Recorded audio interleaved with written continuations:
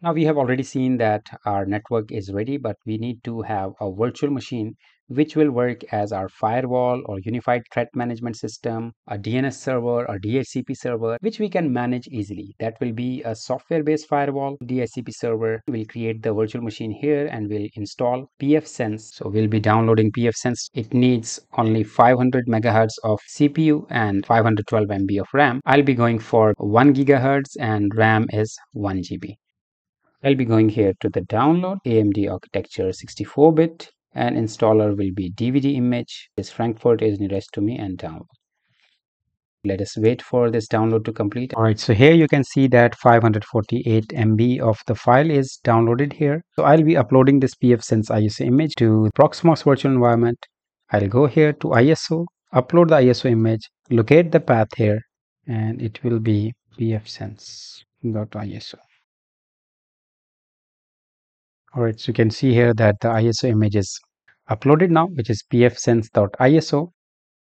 Can create the VM. So there are two nodes available right now. I'll be creating in my PVE node because it has got the two network interface cards. The other one is not having two. You can see here that PVE2, this has only one network card here.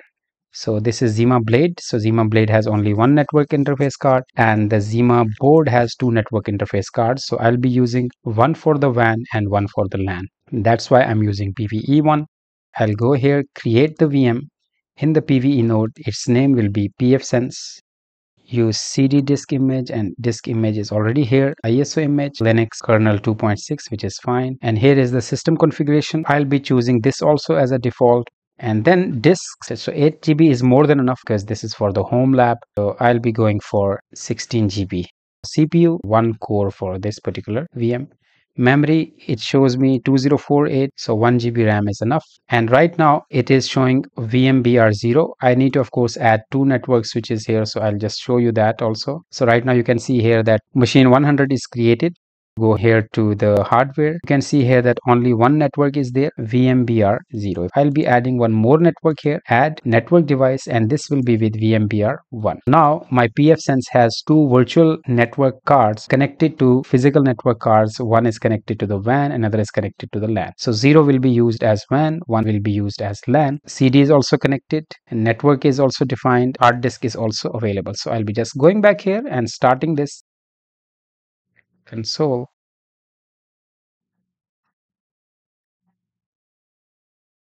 pfSense has started so we'll be just installing the pfSense on the local machine now. Accept the license agreement and install I'll just install it and auto ZFS it will automatically choose the disk partition so I'll be using this and install with no redundancy this is fine. Virtual disk I'll be choosing virtual disk okay and it will destroy all the partition. I agree to it. Yes. And now we'll wait for this process to complete. Alright so installation is completed and I'll be just rebooting the server here. And here I can go back to the machine here from the hardware. I can remove this ISO file now. It has been installed so I'll be just removing it. So I'll be going back here. pfSense has started directly on the hard disk now you can see here VTNet 0 and VTNet 1 this is what we were doing earlier. So here you can see here that I am right now connected on this particular network with pfSense I'll be connecting VMBR0 which will be having the IP address of 192.168.100.4 or it can directly also get from the DHCP it will be getting 100. something. And then I'll be changing it of course to 100.4 so it shows that enter the WAN interface. So my WAN should be net 0 which is VMBR 0 and net 1 is VMBR 1. And here also if I go back to PVE network and my VMBR 0 is having the IP address of 100 range and this 240.2 is my internal. VMBR 0 is my external network. VTNet 0 is my WAN interface and the LAN interface will be of course VTNet 1. So here you can see WAN is now VTNet 0, LAN is VTNet 1. I'll proceed. Yes. Now it will start configuring the network. I'll just show you in the diagram. So we were saying that it will get the IP address automatically, which is 192.168.100. something. you can see here that WAN IP is 192.168.100.224 and the LAN IP is 192.168.1.1. If I see my IP address in my computer right now, so right now my IP address is 192.168.31.162 I'll be disabling the DHCP server here in my existing network. You can see here I'm disconnected right now. So I'll be using ipconfig slash renew. The IP address that I got is 1.1. So now I can access the pfSense from here, which is 192.168.1.1. The default user is admin and password is pfSense. For my network, which I'm here right now, and I'm accessing the internet via my VMBR1 which is connected to pfSense and through pfSense WAN port I'm able to access this network also. And I'm also able to access this particular switch also which is VMBR0 at 192.168.100.2 you can see here that this is 100.2 I can still access it because for my network it is right now internet and I'll be able to access it of course.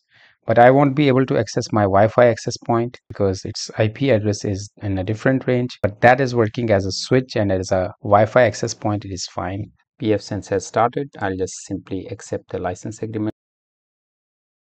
So I'll be just changing the system manager password here save it. So I'll be going here to interface. You can see here in WAN interface as I mentioned instead of DHCP I'll be using the static IPv4 address and my IPv4 address will be 192.168.100.4 24 bit. Save. I'll be applying the configuration now. Press enter so it will show me the new IP address here. You can see here 192.168.100.4 now I need to change the internal LAN address also which is 192.168.1.1 so I should be changing it to 240.1 so I'll be going back here to the interfaces LAN interface and here I'll be changing it instead of 1.1 I'll be changing it to 240.1 and here one more thing is that don't forget to adjust the DHCP server range also. So I need to go back here to the services. DHCP server here I need to change the DHCP server range which will be 240.1 so address pool range will be 240.100 till 240.199 and I'll save this also. And now I can apply the changes here. So we'll be waiting for the service to be restarted.